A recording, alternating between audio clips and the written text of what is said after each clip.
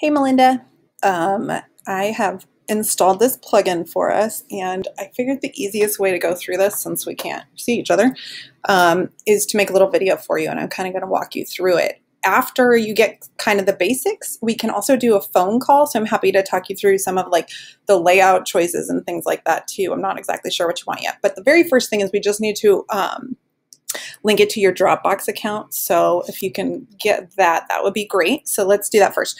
I just did it with one of my accounts and then I deleted it. Um, so that's fine. You can like try it with accounts and then delete them, no problem. So what we're going to do is go to out of the box, settings, general. We're going to go to add account.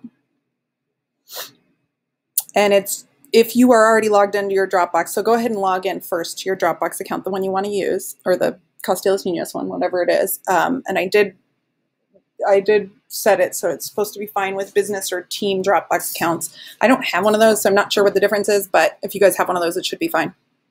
Um, anyway, so then you click allow. My internet's really slow today, so forgive me. Forgive my computer.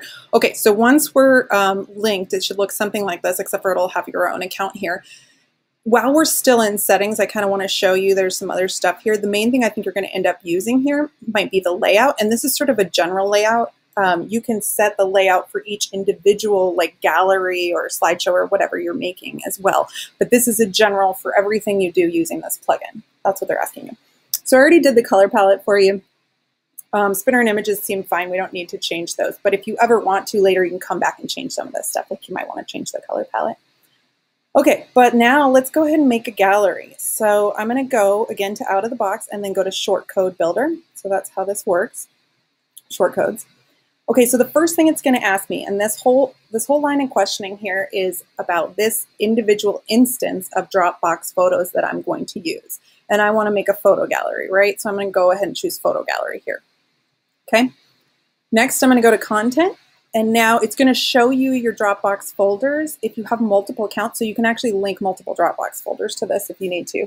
Um, go ahead and uncheck this so that you can use multiple, but I have it checked right now because that was the default. I don't know why. Um, anyway, go ahead and choose some photos that you have. I have like almost nothing in my Dropbox because I use Google Drive, but let's see what I got. Okay, got these done things. Okay, so I'm going to go ahead and navigate to the folder where the things are that I want, right, that I want to show.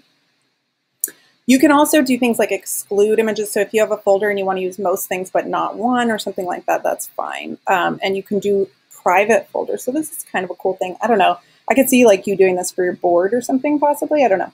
But we can talk about that later if you want. It's kind of a neat little option. Okay, so we picked which content we wanted. I picked these three pictures.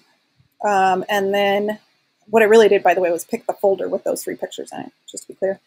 Okay, so then layout, I'm gonna leave this as is, but just so you notice, you can change things here. 100% um, is a good thing to always leave this because it's going to be responsive. So it doesn't matter if you're gonna be on a tiny phone or a big old desktop screen, right? Um, but you can also do like 50% or something if you wanted to put it on the right or left side of the screen. Whatever, you get it. um, okay, so all this is fine. This is probably gonna be important here um, show file names, show descriptions on top. I'm not sure what kind of images we're using, but this is a possibility. There's also, oh, we're going to go into it next, um, some sorting options. I'm not sure if you're going to want to use those or not. Um, you can also do things like set the height so that all the images are going to be the same, crop your thumbnails, set a slideshow, all sorts of stuff like that if you want. Let's go to sorting. So I'm guessing you're not going to use this because I'm guessing it's just kind of some gen general pictures, but there, there definitely could be instances where people would want to sort images and you can you can set that so that the actual end user can sort the images either by name, by size, by uh, last modified, anything. Okay. Let's see what's under advanced. I forgot. Uh, none of this really matters.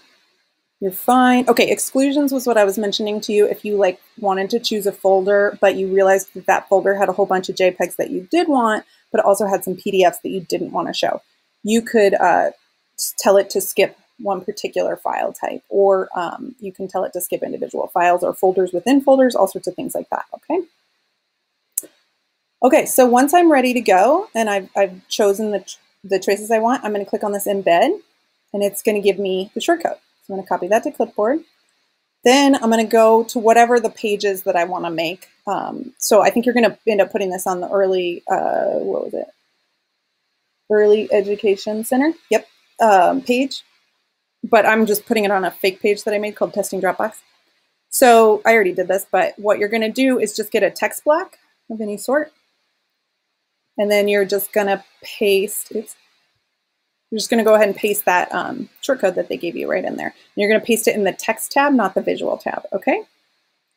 You also have these little guys here that will show anytime that you, you add a text box to the screen. So you could also add it this way, which is kind of cool.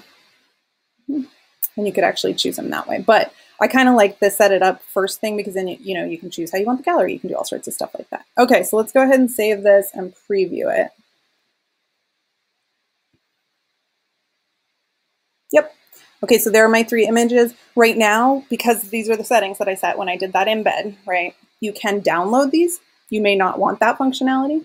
I don't know. Um, so we can definitely stop, but I wanted to show you kind of more functionality. This I also still have like search on, which you probably don't want, but you could. Um, and then refresh, which is probably something you want. So that'll probably be enough to at least get you linked up to your Dropbox account and playing a little bit. And then if you have a bunch more questions, which you may, um, let's do a phone call. Okay. Uh, good luck. Hope everything's going great.